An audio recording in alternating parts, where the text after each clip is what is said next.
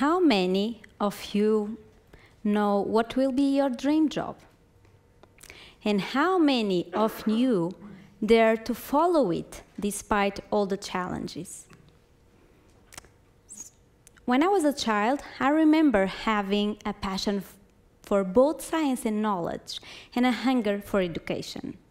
While growing up, I tried to study as hard as I could to achieve my dream job. And in this case, it was to be a professor and a scientist. So, when I finished my master's degree in pharmaceutical sciences, I knew that to become a scientist, I had to do a PhD. But at that time, I knew very little what, about what a PhD was. And actually, I'm from a small village in Portugal, where a few would seek out higher education, and I'm the first and only one in my family having a PhD.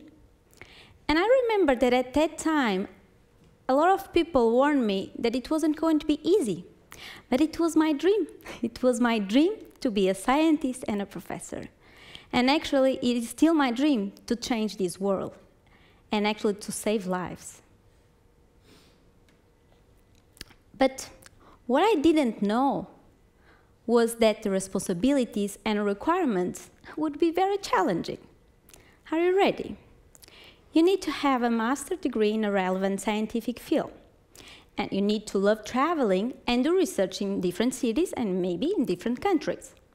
It requires a lot of hard work, and I'm talking of many weeks of 80 hours, and that includes working on weekends and long nights. Being competitive, working under pressure, having, negotiating, and excellent leadership skills. I should also mention that you should be creative, flexible, and you should be able to handle quite well the conflicts and making tough decisions. Also, it won't be easy to find a permanent job. Actually, you need to fight a lot.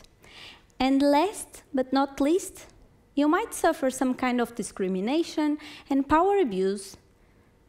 It can be like Hell's Kitchen on steroids, but a little bit more sophisticated and academic. You know, they say that academics are smart, but well, considering all these requirements, we might not be that smart after all. Because who in their right mind want to apply for such a position, right? and I'm a scientist working in the nanomedicine field, and actually my driving force to be in academia is to find emerging nano-based systems to treat aggressive brain cancers and improve the survival rate of those patients. And despite all the obstacles that I've been through in the last few years, this is the main reason why I still haven't left academia. And I've been teaching and mentoring a lot of students. And there is something all of them share in common. They told me that doing the PhD was the most stressful time of their life often pushing them to leave academia. But now I want to tell you something. Please do not give up, because the scientific world needs you.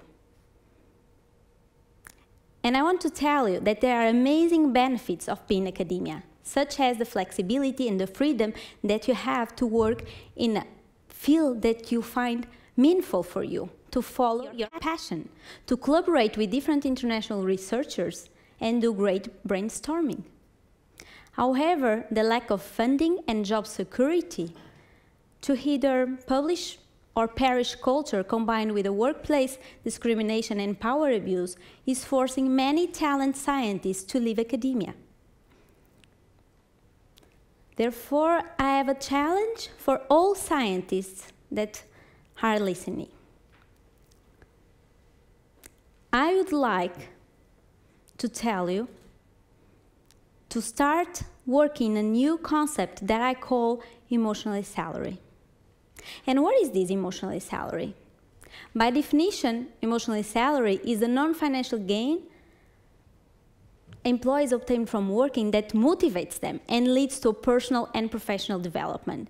And in academia, this could be the amazing feeling of helping cancer patients, like in my case, or it can be the excitement of finding a new signaling pathway, or also it can be the development of a new artificial intelligence program. In academia, it can also be the feeling of seeing your collaborators at international conferences or the sense of publishing your latest paper that you have been working so hard in the last three years and now is finally out and can have an impact in our society. I want to tell you something. In academia, your main salary is not always a financial gain. It is more about intellectual stimulation, the opportunity for personal and professional growth, and honestly, most importantly, the opportunity to contribute to advancement of knowledge. You are paid for a chance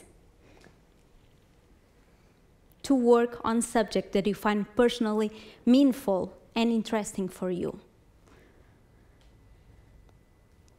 However, we need to guarantee these emotional payouts for our students and for the next generation of scientists. So I'd like now to call all scientists to invest in emotionally salary. And for that,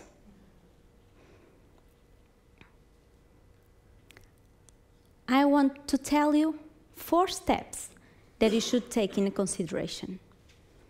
First, granting more freedom to our PhD students and postdocs for their own ideas and to carry out their own projects. Second, building a sense of belonging in your workplace because you know feeling like part of a team can make them more confident, persistent, ultimately leading to a better performance. Third, formulating medium and long-term career plans, but also help them to achieve it. And fourth, ensuring that your team has a great work-life balance. So in a nutshell, remember, first, giving more freedom in academia. Second, creating a healthy workplace. Third, making medium and long-term career plans. And fourth, allowing a proper work-life balance. Knowing my life purpose, educating myself for an excellent leadership, being humble, and becoming an inspiration. This is actually what I'm working on currently to be a better scientist and a better person.